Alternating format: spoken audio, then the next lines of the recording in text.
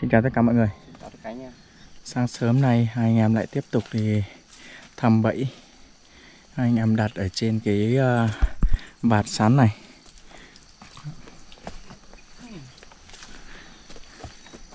Chuột ở đây người dân uh, cuốc đi sắn rồi uh, ra ăn khu này nhiều lắm. Đó. Qua anh em có đi bẫy uh, gà xong nhìn thấy đây thì anh em đặt uh, ít cái bẫy kẹp ở đây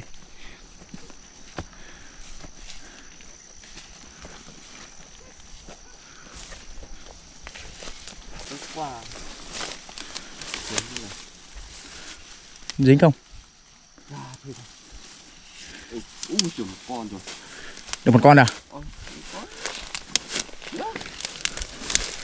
ui đây đây được một con rồi anh em Đây là cái đường của nó đi đó. Đó, được một con rồi Một em. một em đầu tiên Chuẩn này. Ăn béo lắm. rồi đi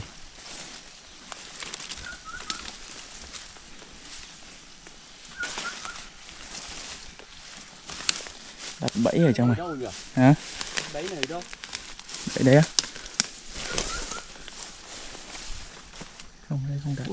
Mới ăn xong này, mới đào xong một lỗ to chả bá này. này mới đào. Đó.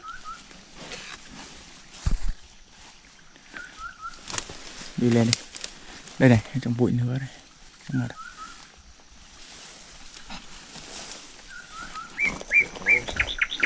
chưa ra ăn mới luôn đấy trên này một cái nữa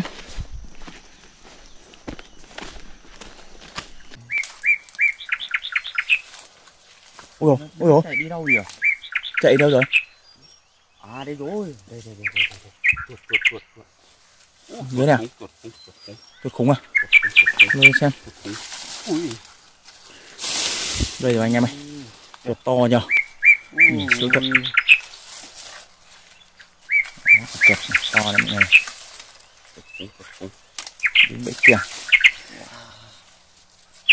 Wow. Đây, đây, đây. Rồi, Đây, rồi, đây. Đây, to chưa? Đây này. Đấy. sống luôn đấy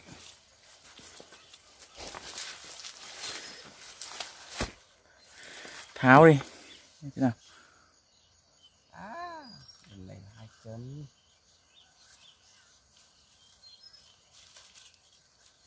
Đập à Phải đưa cho nó lên để giải quyết rồi.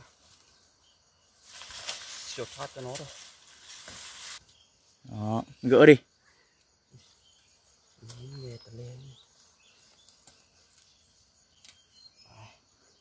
rồi chuột khủng mọi người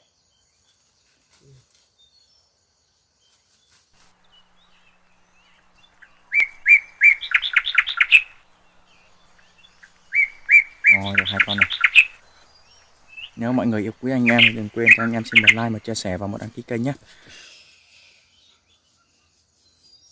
Đó đi. Tiếp tục xuống nó còn sống rồi. Chuột khủng nhỉ.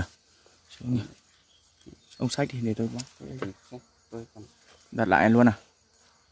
Đã may mắn luôn chuột này to nhỉ sướng nhỉ. Chuột này anh em.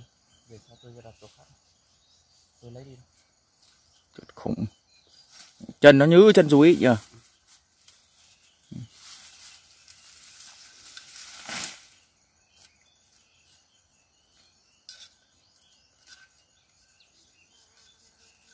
to chưa đó là bên này còn Chân, quần này đúng không? Đúng rồi. Nhìn nhỉ. Sao gần bằng trường xem mà. Mà, mọi người nhìn này, bằng bắp tay luôn này. 50 phân. Đây này, 50 này, Đấy.